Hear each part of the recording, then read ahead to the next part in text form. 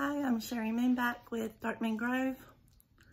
And tonight we are going to go over Garuda. And this is not a name that I am familiar with. So I will be reading out of the book. If you don't like to hear me read, then just scroll on by. And if you are a returning visitor, welcome back. If you're new here, we are so glad to have you. Um, please like and subscribe and make sure you hit the little bell icon. That way you can stay up to date on our new upcoming videos. So the card, it says, Garuda is based on the legends of the Hindu aspect of the same name. His body is that of a great and magnificent bird, powerful enough to carry the god Vishnu and his head is that of a handsome man. And here is the illustration. It shows a gigantic bird and a head of a man. So, in the book, I'm not going to read all of it because um, it seems to repeat itself a lot. So I will read the inspiration and the divination.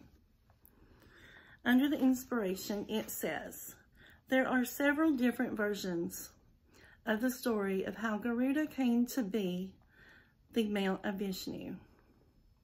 Some traditions state that owing to Garuda's great size when he was born, he was so hungry that he went on several quests trying to find enough food.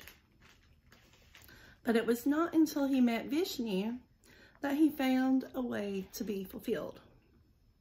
Other legends say that Garuda went searching for the elixir of immortality, and after many quests, he found it. But Vishnu offered him eternal life without the elixir if he would become his mount.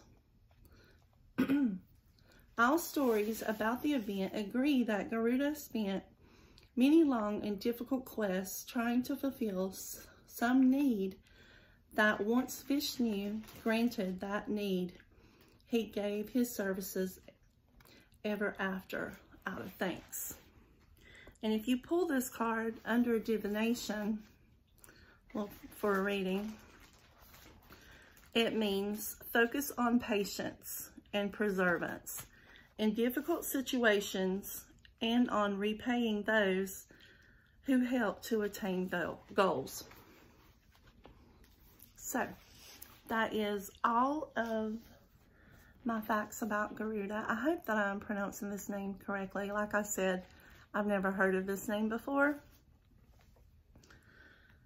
Um, but he was definitely very interesting to learn about. So, that's this um, episode. And catch us later.